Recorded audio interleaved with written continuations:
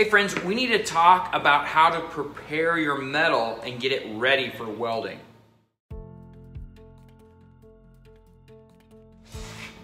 Okay, so you've gone through all the safety tests, you're ready to start welding, you know how to strike an arc, you know your movement, now we need to get some metal.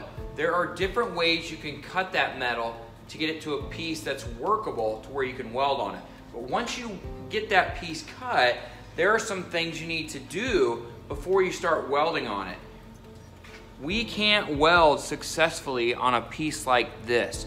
We need to remove that rust and we need to remove that mill scale. So the first thing we can do when we cut this is we can either wire brush it if it's not that bad, but what I prefer is either to lightly grind this or to take it to the wire wheel. So this is our wire wheel on the grinder. So when we use this, we don't wanna wear gloves. Can gloves can be grabbed by all these wires and then suck your hand in there and that's a really bad day. So we have to make sure we're using the uh, plates here, the guards, so that we don't get our piece sucked in there. And then we have to make sure that we're not pushing it too tight to where it could grab in there and pull in there. But what we're gonna do is we're just gonna take off this rust and we're gonna take off this mill scale to get down to the bare steel.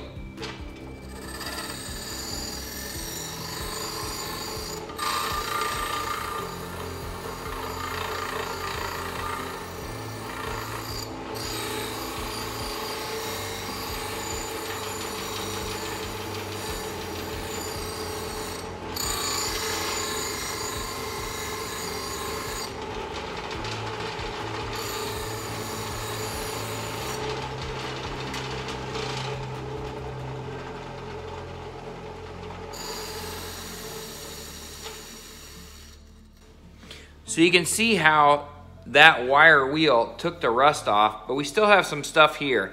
Now you can weld right over top of that. For our welds, it's not that big a deal, but if this was a structural weld, you'd wanna get rid of that. So we can take it to a grinder or we can take it to an angle grinder and get that even better. So here we have an angle grinder. We'll talk about this later, but you can use it to get rid of this mill scale and any other rust and so you can have bare steel to weld on.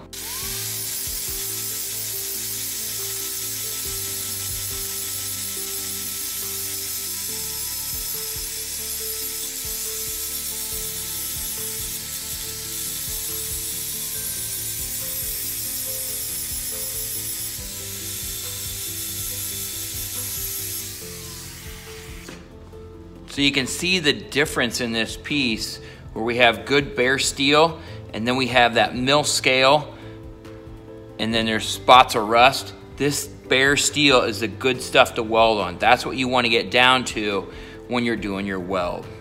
All right, folks, so just like in everything, make sure you plan to be successful. Prep your metal so that you can produce a good weld. Now you know, and as G.I. Joe would say, knowing's half the battle. Thanks for watching.